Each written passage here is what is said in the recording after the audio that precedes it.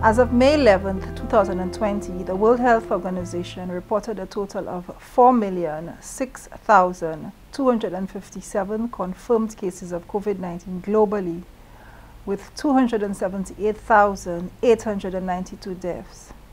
There are now 1,702,451 confirmed cases in the region of the Americas.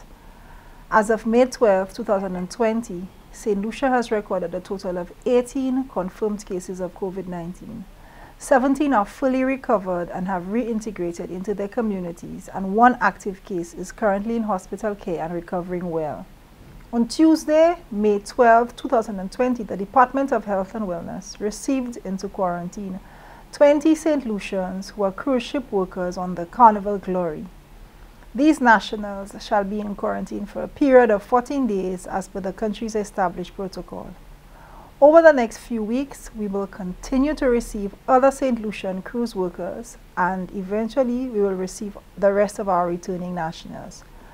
The Department of Health and Wellness implores everyone to cooperate during the current phased reopening of the country, which commenced from April 13, 2020 the department makes an urgent plea at the level of the community to adhere to the recommended six foot physical distancing measures and also the use of a face mask or scarf.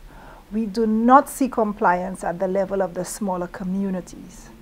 St. Lucia is still in a critical position in our response to COVID 19.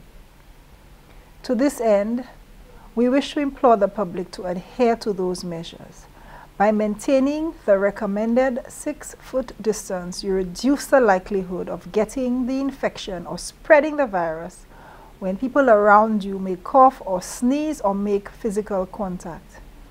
The face mask or scarf should be used for source control by reducing the potential and the exposure risk from an infected person during the pre-symptomatic period. For face masks to be effective in reducing infection, they must be used properly.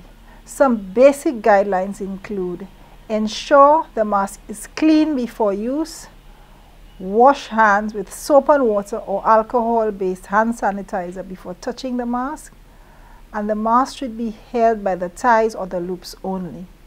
These measures, if adhered to by each and every individual, shall significantly slow down the spread of COVID-19. On its own, the virus is unable to spread. People spread the virus. As such, by remaining at home, avoiding mass crowd activities, the potential for an outbreak of COVID-19 is significantly reduced. Though keeping these physical distancing measures and wearing the face mask may be challenging for some, and very different from what we know to be normal within the communities, its benefit in preventing the local transmission surpasses any inconveniences we may face. We continue to advise the public to focus on the maintenance of the standard recommendations to prevent the spread of infection. The Ministry of Health, we will continue updating you on COVID-19.